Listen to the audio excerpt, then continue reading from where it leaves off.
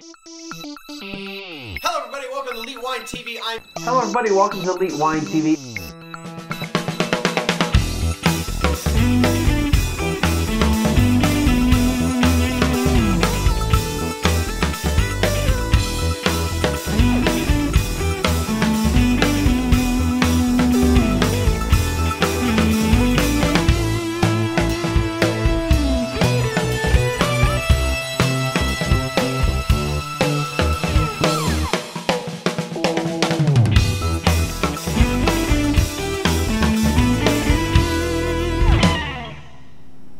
Hello, everybody. Welcome to Leet Wine.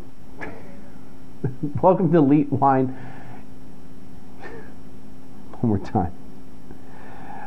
Hello, everybody. Welcome to Leet Wine TV. I'm your host, Mark Fusco. Here for another episode of the show. I might have left the first couple episodes, um, episodes tries in there. I don't know why I froze up for a second. Um, had stuff in my mind for some reason. Anyway, um, so uh, the last last one I'm doing for the day. Starting, this is going to be a fun one. Anyway, um, this is the last uh, the last one I'm doing for the day. Uh, then I'll take a week or so off and uh, play with my new toys. My green screen, green screen off, green screen on. Love it. All right. Um, so anyway, uh, so we're going to do this wine here. Now I haven't opened it yet because, um, well, let's just kind of right into it. This is the non-vintage um, Choco Vine from Europa, or the Europa Choco Vine. This is a grape wine with artificial flavor, cream, and artificial colors. Chocolate in wine. Uh, made in Holland. It's the first Dutch wine I've ever had. Oh, wait a minute, it's not really Dutch wine. It's wine made in Holland. It's a product made in Holland. Now I'm shaking it because it says to shake it. Matter of fact, it says right here. Consume within six months of opening. So I shouldn't have to worry about vacuuming this and um, worrying about the wine going bad. Uh, shake well. Store in a cool, dark place.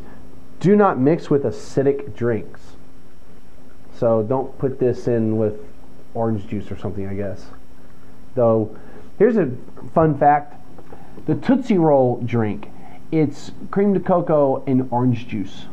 And then some recipes say put a little cream in there, but just those two, the right proportions, tastes like a Tootsie Roll. Who knew? Orange and chocolate. All right, so I'm shaking it, shake it really well. That's why it's not open. Let's pop it open because I figure I probably don't need to uh, um, do a little rinse. Get the rest of that wine out of there. Anyway, uh, me go to one of the uh, places that sells this, EmpireWine.com. Uh, I don't know where they're from. I don't know they're from. My my initial thought is they're from uh, New York, being the Empire State. Okay, it's pretty thick. Lots of chocolate in there. Let me read what they say is from the winery notes. Choco Vine is a fine French Cabernet subtly combined with a rich dark, dark chocolate from Holland, paired together to create a decadent, silky smooth drink, great served on the rocks or as a main ingredient to an array of sinful cocktails. So we're having it by itself. So supposedly, serve it on the rocks. So this is one of those things where um, I don't know. A few weeks ago, everybody was talking about chocolate wine and all that, and it was kind of the rage. I guess it was the pre pre Valentine's Day build up for it, and um, everyone was drinking this. I think it was this one in particular, and I was like, "Hey, what about me? No one told me about it. I was off that day." So um, anyway, Vinny Crumbs decided, maybe Dad, uh, decided to buy this because uh, I heard me talk about it. He saw it. I believe it's around eight dollars. So that, that's what I keep seeing out there on the um, on the interwebs, on the tubes, so to speak. So um, probably around eight bucks you can get this bottle. And uh, like I said, it's a non-vintage wine. It's it's one of those specialty drink concoctions. You know they, you know they they make like say Bailey's and and chocolate or whatever. They, they they create a cocktail thing that you can just drink on its own and serve it on the rocks. All right, so outside there's nothing much else I know about this because I'm probably not going to know exactly where this Cabernet is coming from in France. It could be from all over France for all I know. But it's a fine Cabernet, by the way. Fine.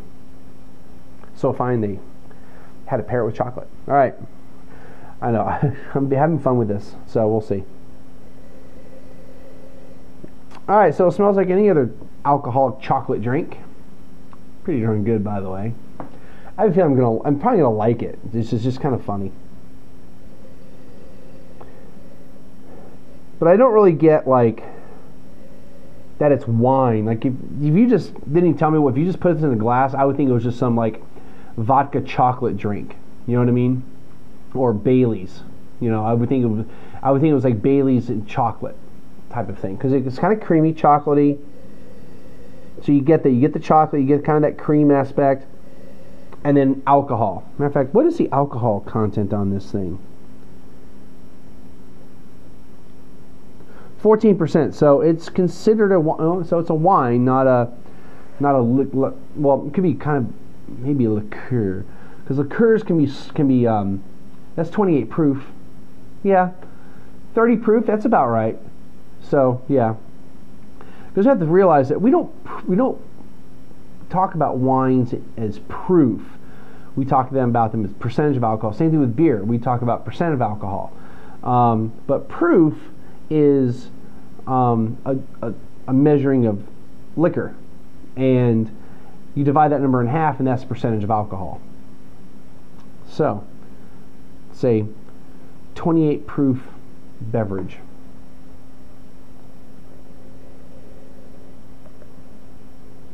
Oh, okay.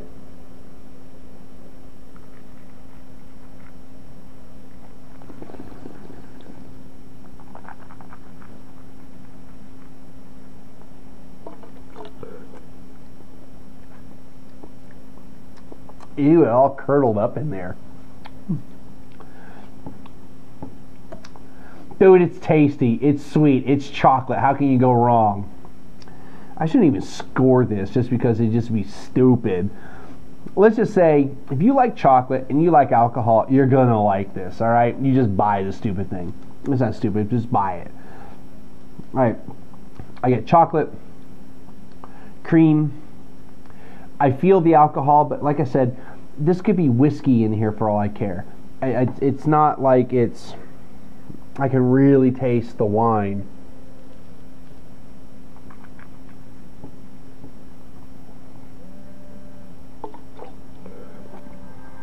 I mean, honestly,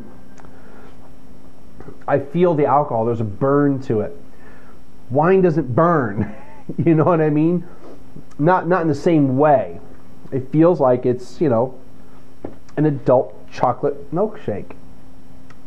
An adult Yoo-Hoo. Oh, I love Yoo-Hoos. We got some in the house. About time that they started distributing it in Texas. In a can, by the way, get that metallic taste.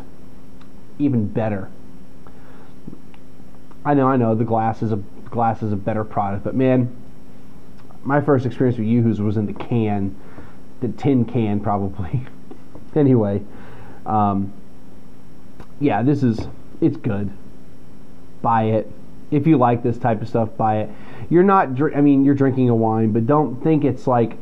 I mean, it's obviously chocolate, but don't think that it was you know some wine that they infused with chocolate. It's more like they made some. They got some chocolate milk, or they got some chocolate, some cream, and they infused it with just enough wine to give it a.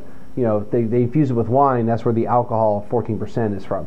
That's pretty. And if you think about it, 14% Cabernet from France, that's that's high up there. It's normally around 12, 12 and a half, maybe 13.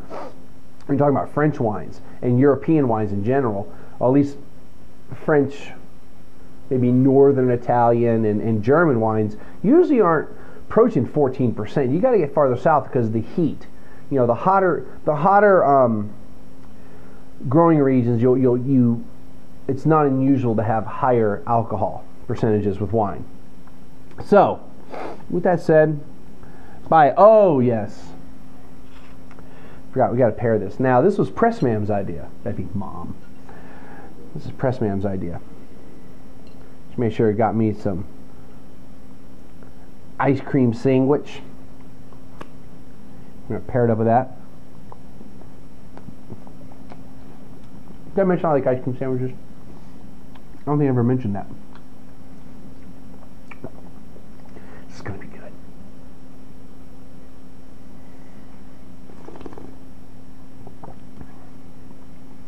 You know the ice cream. You know what it does? It helps helps cut down that the alcohol burn.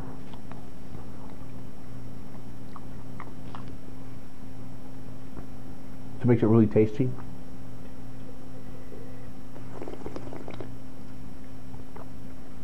Yeah, I still got the burn, but the ice cream, the coolness of it is what it is. It's not the milk and the fats in it necessarily because that would handle the tannin. It's the coolness. It's cooling the wine down. That's why you chill it so you don't get that alcohol flavor. That's why that's why you know youngins love their alcohol cold so they don't get that burn. Why Americans drink their stuff too cold drink their beer at 30 degrees. Okay, 33.